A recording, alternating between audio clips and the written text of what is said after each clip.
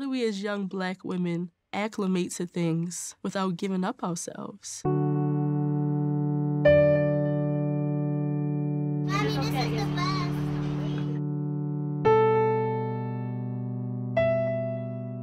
Watch out for the thorns, please. Watch out for the thorns on the pink one.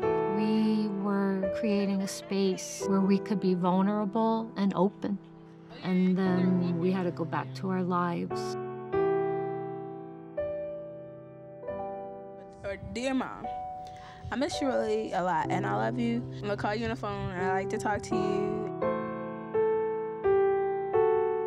I try to be better than my mama because I don't want to go through that. We listen to each other, we cry to each other, and we let each other know how we really feel. We have this remarkable experience of having had 10 full years together. Wings saw who each person was. It gave the girls this sense of confidence. What was that Cam said Dude, last this time? whole conversation started because you didn't understand why people were hurting each oh. other. Don't think that they're no higher or no lower. They're the same person you are. They got the same feelings that you had. I didn't want it to be like I was just going to the hood to film some people because I know them. So I wanted it to be like like something that you want to tell somebody about your own life. I find it hard to believe I'm really somebody's mother and have to do it, but then I chose it. Hey, look at all professional. Like a little nurse. But I've often wondered if the most painful thing that we experience as humans is not being seen and heard. Yes, it's hard to explain it, but how much are the girls expected to to give just to be a little bit successful? And why is that type of success the only thing that's seen? That's My Wings is different because we're not talking about success based off of what college they went to. Talking about success based off of what kind of person they are. Like if they look at you and say, hey, how does that make you feel? My wave at the camera.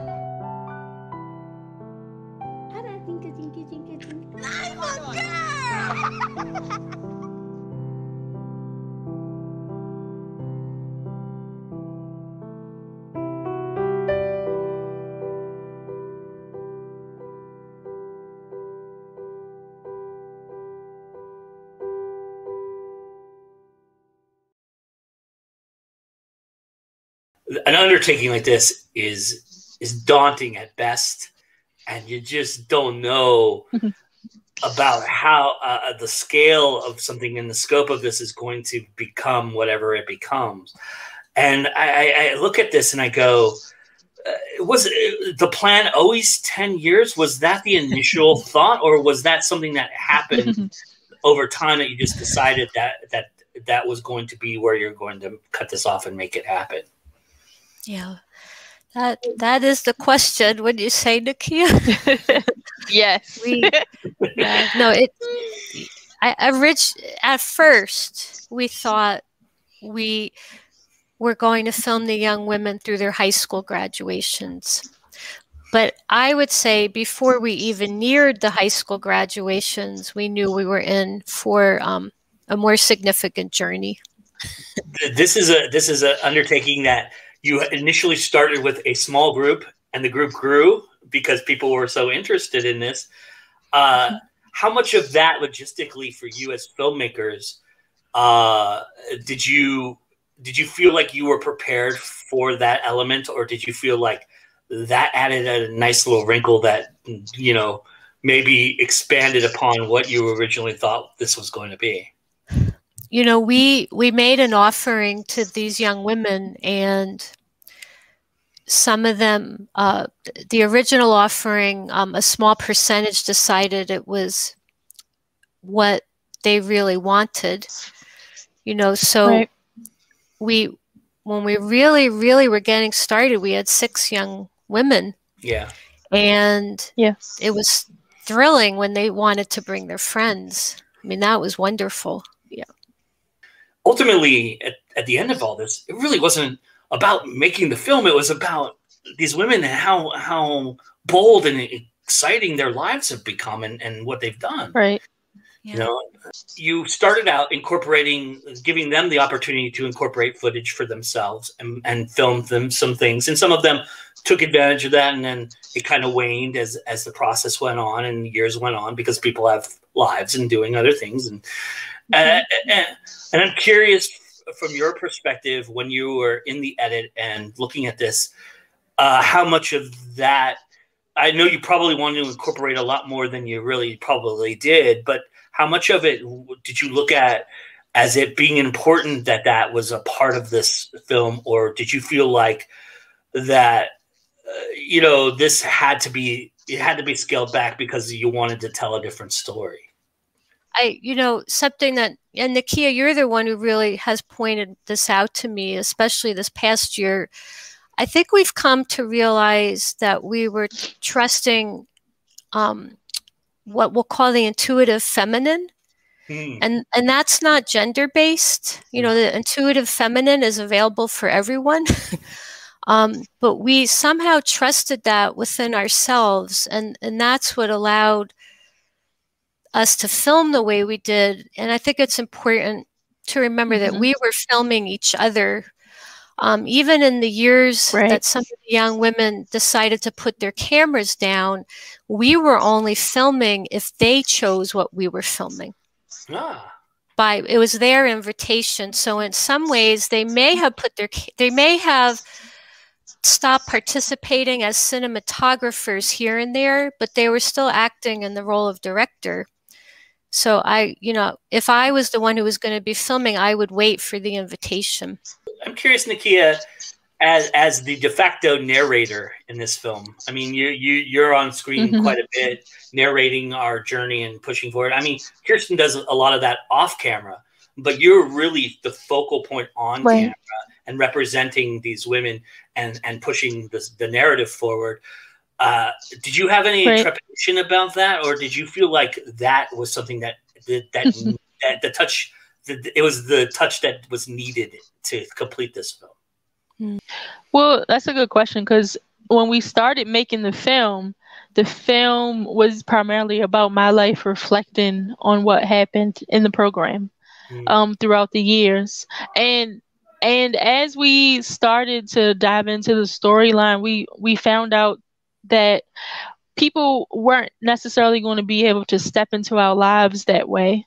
Um, so even though I'm narrating now, I feel like the way we've edited the film, it it's made me more comfortable with the fact that I'm the one talking the whole time, um, and and leading us through, um, because the way we've edited it now is like anybody can kind of see themselves being a part of our group. Mm-hmm. And my narration is literally just something that complements the story in a way rather than being the focal point of the story. You know, something I really love to talk about documentary with documentary filmmakers about is the idea that you have going into something, right? You have this idea, you may have outlined something, you may have a focal point, you may have this direction you're going and mm-hmm. it's even more unique for all of you, for the both of you because you did this over a 10 year period. I mean, probably even more than that because you had to edit after that. So right. probably more like 12, 12 years. But, exactly. but yes, yeah, so, exactly. so with documentaries though, oftentimes what happens is, is that you get into it, you start filming interviews, you start film, you start capturing footage, you start to look at the footage, you start to then you get into the edit and you start to the narr- the narrative you thought you had at the beginning completely implodes and changes on you and goes a different direction and really defines defines itself it's it's one of those weird things like it's like a fire you know you might start a fire and you may think the flame's going to go one way but the flame decides mm-hmm. to go wherever it wants to go because it's, mm-hmm. it's alive it becomes alive mm-hmm. and i'm curious yeah. you guys where in the process did you feel like this was so much different than what you had originally imagined? Was it during the hmm. years that you were filming or was it more toward the edit? Definitely towards the edit i believe. Yeah. Yeah, yeah. you know that your question joe reminds me nikiea i feel like this conversation we've had about some of the decisions we had to make and what we how much of our timeline over those 10 years we actually included in the edit. And I mean, ultimately, we actually still filmed a little bit. So we actually have about 12 years in Mhm. the entire edit. But one of the the big things that happened was we were getting a lot of feedback to begin the film where the young women are at their eighth grade graduation and then to end the film when they graduated high school and we we had to stay with our intuitive feminine and realize that that was going to make things too easy for the audience um, i don't know nikki if you want to elaborate on that Yeah, uh, there's so many films that are easy to watch, you know. I mean, we we're a film that is different in the sense that the way we thought about it was to not use certain things as a crutch. And and to let the story be told raw and as is and you know with the band-aid off immediately like just torn off um and that's intentional because that was our experience in wings. We didn't have anyone holding our hand. We we held each other's hands but you know we were experiencing this together raw uncut. Um and so if someone is going to step into our filmmaking process and watching this film and and being a part of the audience then it will be only right for them to experience it in that way.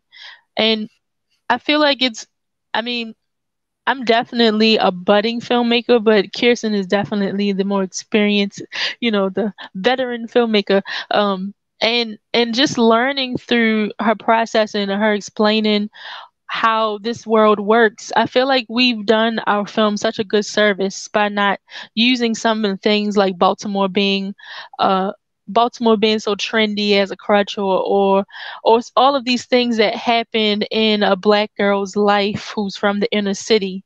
I feel like we were really able to bring everything to light without so much other stuff.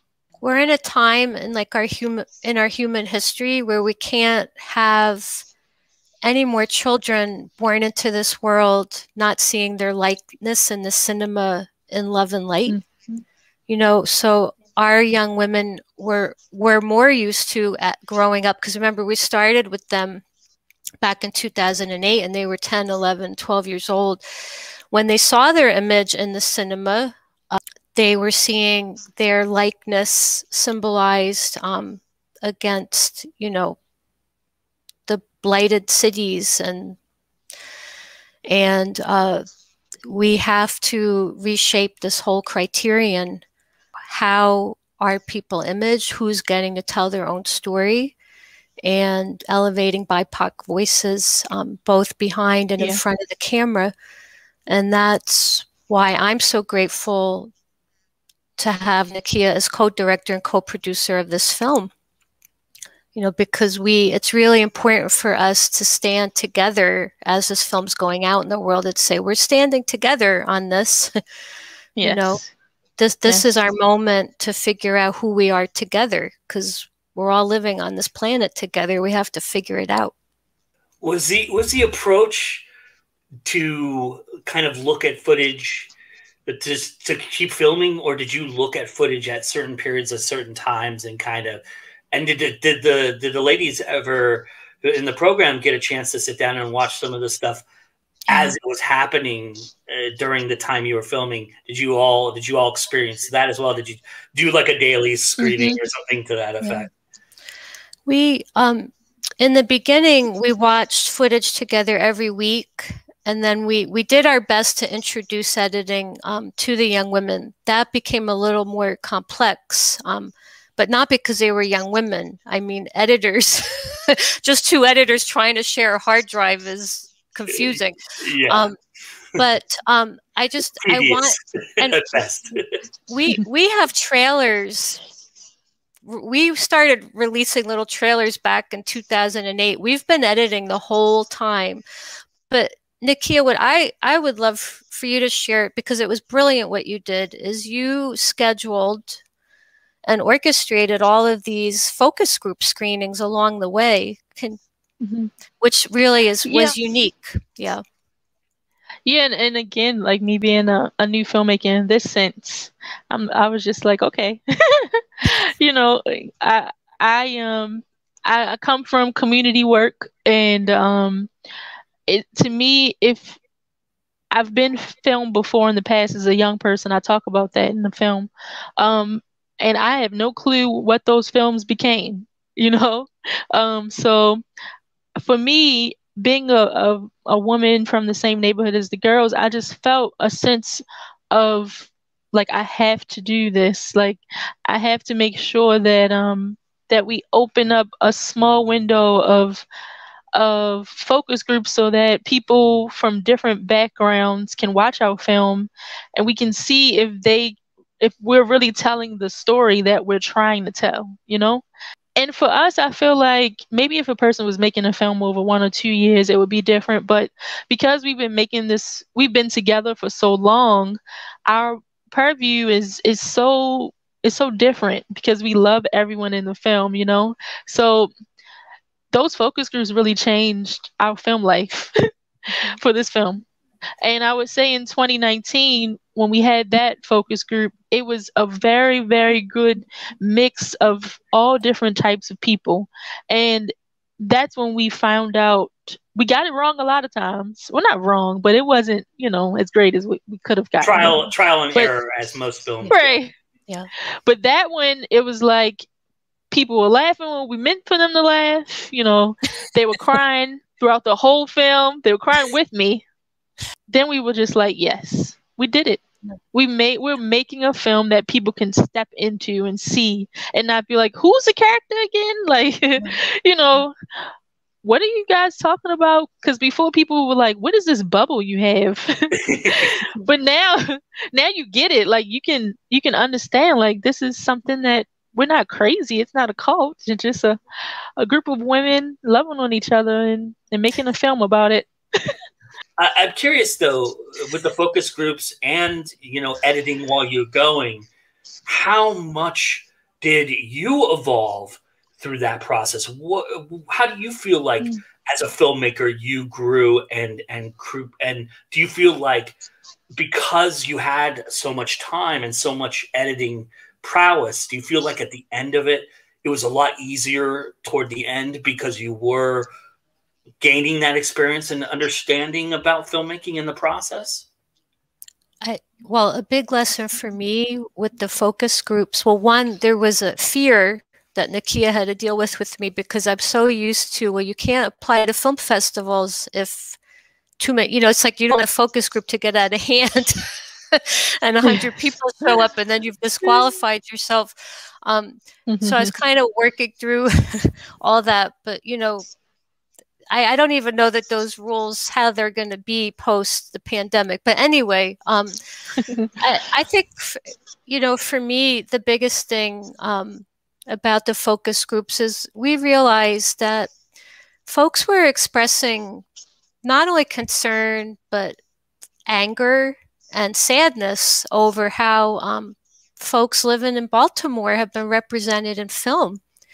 And so these focus groups were our way of ensuring that we were going to tell the story that Baltimoreans would like to see about their own city.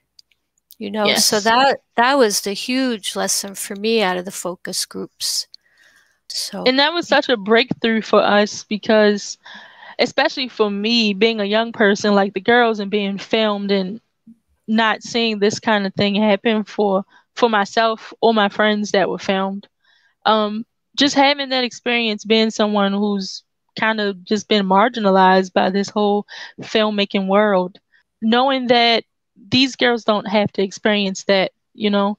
And as a filmmaker, for me, it's just um, it's just been powerful to know that this is something that can take place and that filmmaking doesn't have to be something that's so mysterious um, if you're an inner city person with a you know a, a hard life and someone wants to come and video your your your texture you know um i i definitely know that i've evolved.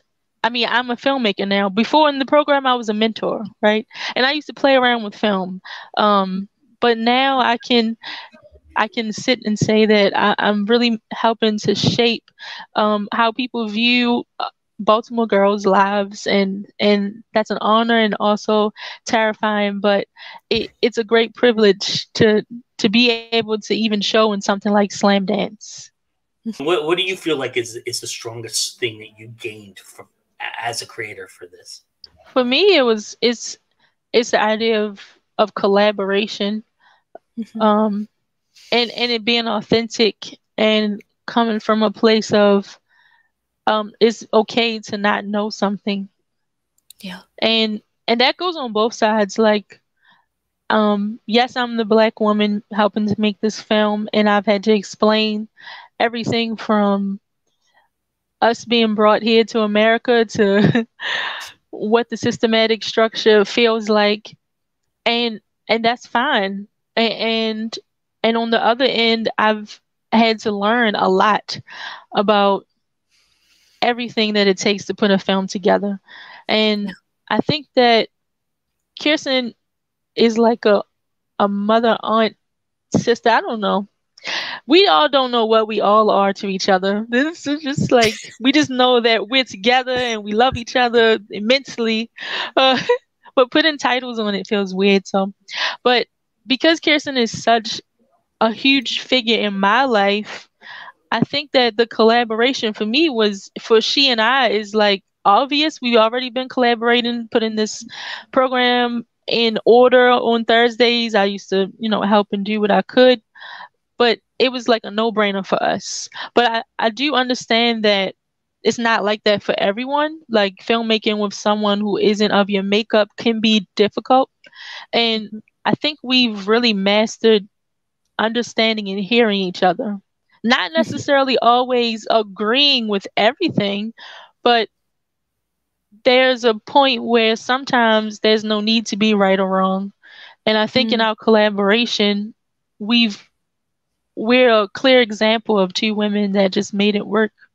We had created a six hour rough cut that we passed off to our editor, Trina Rodriguez, which was really, mm. really important because she brought her fresh eyes and she didn't she didn't know us, you know. But the reason I'm sharing that is because there's a there's a shot that I insisted Trina keep because um, we weren't quite sure why I wanted it there. But it's just this little moment in the beginning of the film where I put headphones on. And I realized later why I fought for that image to stay was because it was just a, a subtle moment, you know, a, a call out to my fellow white women that um, it's time to listen. And we need to listen um, to our sisters, you know. Uh, and sometimes when you need to listen at that capacity, you might have to step out of some of your own connection to maybe some of your own hurts or traumas in your life and and you just you have to it's not you're putting yourself aside but you're just making the commitment am i listening or and can i listen deeper? Yeah when we're listening when we're really listening to each other there there is no right or wrong because we've entered that place of dialectics like nikki is saying you know where we we're able to hear each other. You know this is the part that's not so easy to talk about because what's interesting about our film is you kind of just see us all bebopping along and we're not really addressing race. It doesn't really come up. We don't really talk about it in the classroom until we've been filming for a couple of years. And I don't know if that's, I don't know why. But again, I think um, we, we're, you really everyone, don't even, you really don't even address gender at all you know you have a transgender person in in the yeah. process and and it was yeah, just right. kind of it was just kind of part of you guys just growing all together. It was very it was very fascinating. Yeah. And and this is very tricky territory because there's there's a place where people connect very organically um, and again i really think it all goes back to just put placing one's trust in the intuitive feminine. But we also are really cautious and really clear that we, um, in our process, we we weren't bypassing the inequities, you know, that were in the classroom. in our space together and and that's why it was so important to include the argument at our um, retreat event because we needed to show that no matter how much we loved each other those things still exist and, and Yeah. existed in our space because they're there systemically you know Right. just like the coronavirus is out there right now these things are have the same systemic function um, yeah. and so it i think one of the most beautiful moments is when our editor trina she put apart you know there were many things she changed in that six hour rough cut and there were certainly things she brought in that we hadn't had the vision to put in our six hour rough cut. And one of those things was um, where danisha we're at a potluck at nikiea's apartment.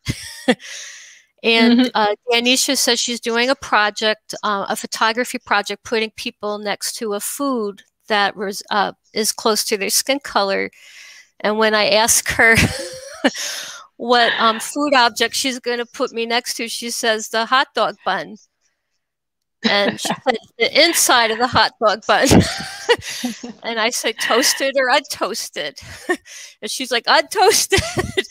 and I just think that that was part of our editor's brilliance. You know, it, can we find a new way to talk about race amongst a group that is so close? And has created this family you know can we find a way to talk about gender? What are the new ways we might do that when there's a close knit group? Uh, that just brings me back to saying you know our dream uh, thinking about our dream is we really hope that people will walk away from this film knowing um, there's a difference between committing to being an ally and there's a difference to committing to actually rolling up your sleeves and collaborating. But we also, this film imbues a mentorship model that where the dream is let's have 10 groups with 10 young women instead of one group with 50 young women. You know, that's part of what our film is showing and, and why we're even here Right. having this conversation right now. Yeah. Yeah. It's a great It's a point. call call to action. yeah. in the exit interviews, you all get you get a chance to ask all the young women what they got out of Wings. What did they? What was Wings? How how, how did that change their lives? I'm curious. You both didn't answer that question, so I'd like you to answer it right now, if you don't mind. What did you get from Wings? What did it do to your life? How did it change your life? Hmm. I don't even think we have enough time for that. I'm not too much older than the girls. I, I I guess that should just come out. I look young, but I'm kind of old, but I'm not that much older than them. Um, so for me, being in Wings was an experience as well as you know it was experience for the girls. It was completely different. I I do cry a lot, and and the thing is, like we'll just have bloopers of me crying because I cry a lot in the whole 10, 12 years, and I'm still crying. But I think that it was a cleansing experience being a part of the program and um, just being vulnerable, learning that that skill to cry, and I'm still learning it. I wish we still had those Thursdays because I, I I need them even more now that I'm in my 30s than I did before. Uh, but I feel like I I myself know that I one thing I took away is the ability to know that I can cry and that that is an important emotion and that I can take that and and share a little bit of vulnerability with someone else. If they're crying, I can be there with them. If I see that they might need some space to experience some emotion, then I can give them that space um, to do it or not to. Yeah, again, I it would take it would take a long time to say everything I gained. I mean, I definitely gained ex, an extended family, you know, and uh, that's not, not anything I thought was possible.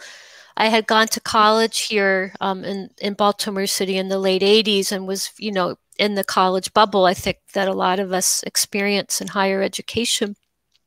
And um, when my husband and son and I moved back to Baltimore City 20 years later, I just I didn't want to live here again and not know my neighbors. So that was the the original intention. But now I've gained a family, and I also, uh, you know, I feel like, and I'm in a slightly different life position, life place in Nikiea because I'm 55 years old and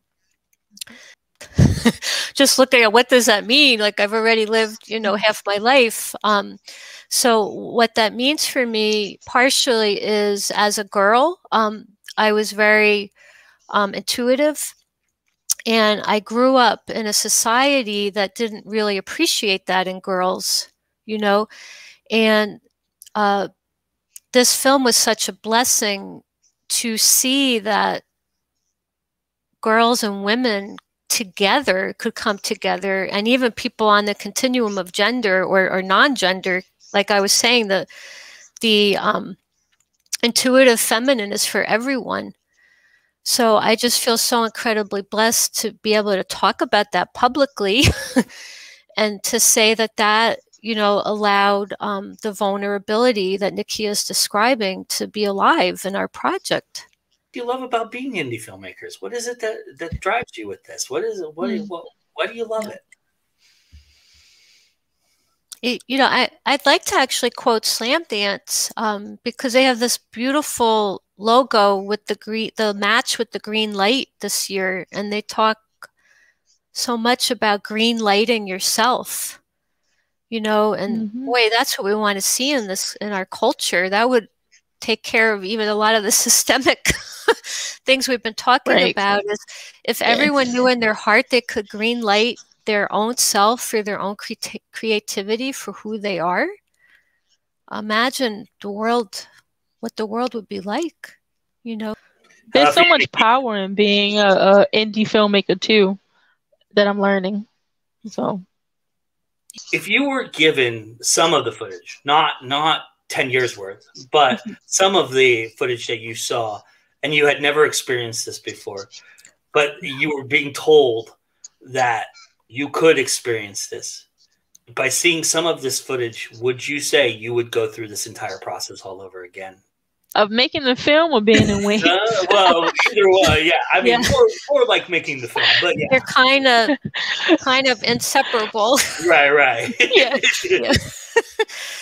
Um, I love being in wings, making a film. Filmmakers are crazy people. I love Kirsten. She's not crazy, but I, this is like, it's like it's never ending. I don't understand. And and and professionally, I'm a graphic designer, so I'm not far from the art world ish. Yeah. It's just that this is like if you have to edit a logo twelve thousand times and it's still not done. It's just like when is this over? Um, so for me, in my mind, I would do wings a thousand times. Would I make this film again? Yes. And also part of me is like, I don't think there's enough time in my life. I appreciate you being honest. I mean, I, yeah. I, I would love to make a film again. It's just this is Not this is a feat. yeah. yeah. I've I've promised know. I've promised my husband that my next project will take under two years because yeah i have a history of really long projects um but um yeah